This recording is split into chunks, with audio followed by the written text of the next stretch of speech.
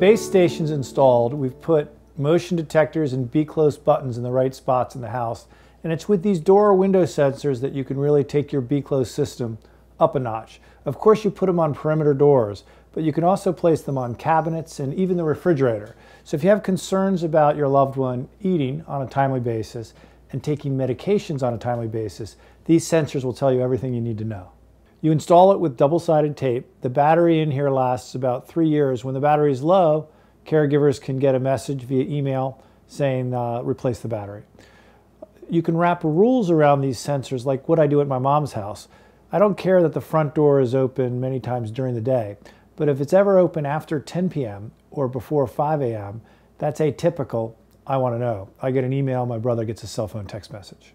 The BeClose door or window sensor can actually be put on anything that opens and closes. So if you're worried about your loved one eating or taking their medications, you could pick a cabinet, as I have here, and install the sensor. It's essential to line up these two arrows. You put double-sided tape on the back of each of these sensors. There's also a backing plate for the bigger one if you need to get some distance, and it affixes just like this. Now every time this cabinet is open, the information is sent to your web dashboard.